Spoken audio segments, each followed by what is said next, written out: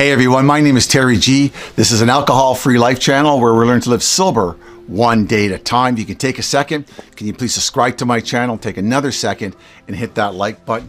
I'd really appreciate it. Again, thanks a lot for stopping by.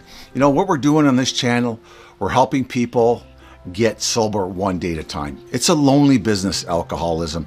It can be a very lonely busy business recovery. But here, I share my experience, strength, and hope with other people, hoping that I may help somebody and that they can start or continue their journey of recovery. That's the whole mission of this channel reaching out, building awareness, and helping people stay sober one day at a time. What I would like to talk about today is a health issue that alcoholism caused with me. Okay, alcoholism and alcohol itself has many toxins in it. And one of the things that these toxins do to people who consume alcohol, large amounts of alcohol, even small amounts of alcohol, the toxins attack our organs in our body. They can create health issues. I was a full blown alcoholic when I was 18 years old, so I didn't really feel it. I didn't really feel any, you know, I, I didn't really feel any health effects when I was drinking. You know, I might have been hungover, woke up with a big headache sort of deal, but no real, you know, heart problems or uh, liver problems or anything like that when I was drinking when I was young. But as I accumulated the years of alcoholism, I was starting to experience heart difficulties. And I've talked about this before heart palpitations. But there's another thing I was starting to experience. And I did not drink large amounts of alcohol. I didn't drink a 24 of booze or, you know, a 40 ounce or a rye a day. I didn't do that. I, I drank about six to 10 beers a day. Well, that's enough, right? That's enough. And I did it for many years you know, day after day after day. And what alcoholism was doing to me, it was attacking my heart. And I was told I had a minor case of cardiomyopathy. I hope I pronounced that right. It's, I put it down here to make sure you can see it there for the correct spelling. And what cardiomyopathy is, is that it, the toxins of the alcohol attack the heart muscles. And what they do is they weaken the heart muscles. The heart can get reshaped because of this problem.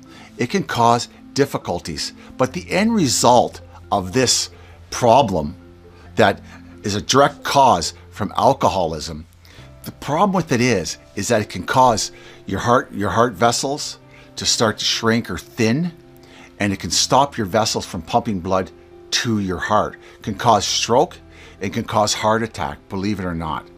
Okay, I was 28 years old, so I wasn't an old man, and I was experiencing heart difficulties because of drinking. Because of drinking. It's, it's, it's very true. It's called alcohol cardiomyopathy. That's what it's called. And it's a direct result from alcoholism, consuming alcohol in large amounts. And everybody's body is different, so it can cause you know, maybe you can have two glasses of wine, it can cause that issue. I'm not sure. You'd have to talk to your doctor. But I wasn't drinking two glasses of wine a day. I was drinking quite a lot of alcohol. I was smoking marijuana. I was doing acid. And I was smoking cigarettes like crazy. So I had a really poor uh, lifestyle when it came to my health. But the good news is, the really good news about this is that this problem can go away, it can be stopped, especially in young people. It can be stopped. And the way we stop it is very simple we just stop drinking. And the problem can resolve itself in some people. For myself, it didn't.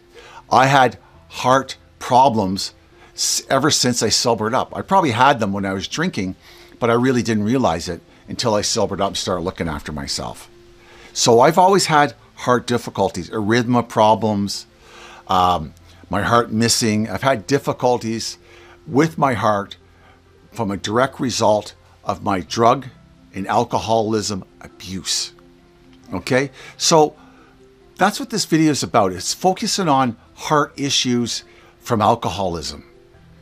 We think that it's fun and game it's fun and we're having lots of fun and this disease will never catch up with us. It really does. A lot of people don't die from alcoholism. You know, they don't put on his tombstone, Terry G died from alcoholism, or they don't put it on the report that, you know, the coroner's report that Terry G died from alcoholism.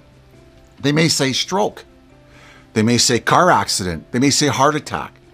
But these problems that cause death from alcohol are, I mean, these things that cause our death prematurely are a result indirectly from drinking too much. My father had a heart attack in his 40s because of drinking too much. People have liver failure, stroke, heart attack, you name it. It can cause cancer.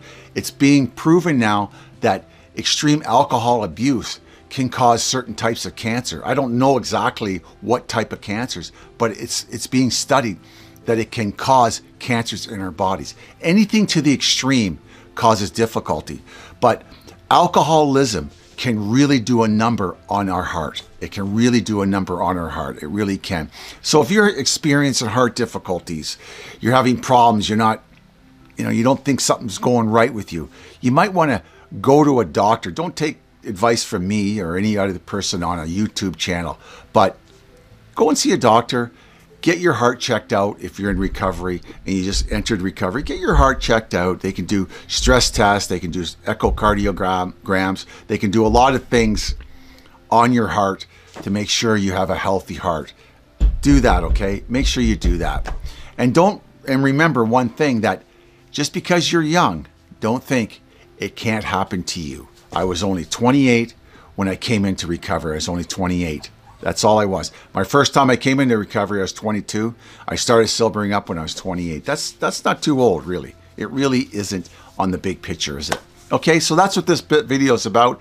It's about cardiomyopathy caused directly from alcoholism. Okay, so I hope you enjoyed my video. If you did, leave a comment below. If you didn't, leave a comment below. But can you all do me one favor? Can you please subscribe to my channel?